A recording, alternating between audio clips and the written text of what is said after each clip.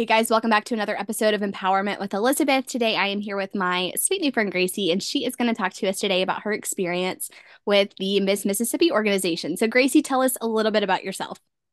Hi, I'm Gracie Weeden. I am Miss Fairpark's teen, and I'm from Corinth, Mississippi.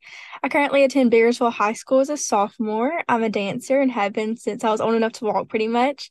And I've had the Miss America organization play a role in my life since a very early age, from watching the annual Miss America pageant on TV to becoming a princess in the 2017 Miss Mississippi pageant, and now currently as a competitor in the Miss Mississippi's teen pageant.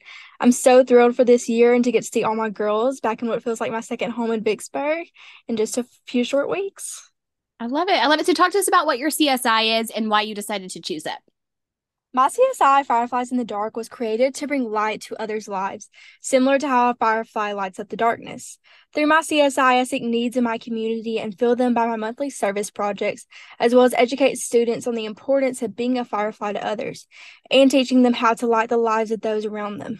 I work with service clubs across our state to further my mission of Fireflies in the Dark to every corner of our great state.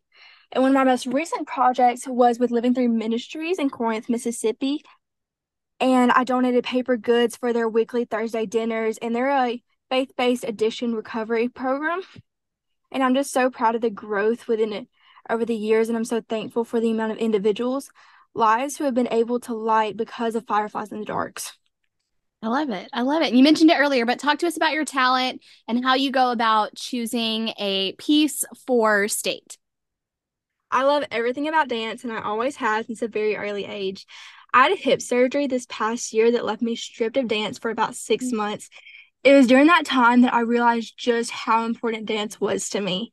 And I'm so excited to be sharing my love of dance on the Miss Mississippi's teen stage to a jazz dance that was actually inspired by a former Miss Mississippi's teen during Jane Granberry. And I love the dance. I love how fun and enjoyable she made it seem. And I made the dance my own, and I'm so excited to perform it.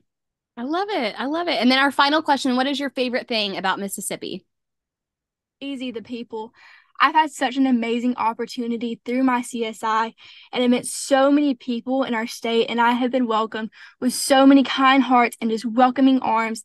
And I'm so thankful to be a part of Mississippi and the kind people that are within our state. And there's so many people who poured into my CSI and made it what it is. And I'm so thankful for those people within our state who have helped me along the way but I'm so excited. If I were to be chosen for Miss Mississippi's teen, that's the thing I look forward to the most is the amount of people that I'll be able to meet through the job.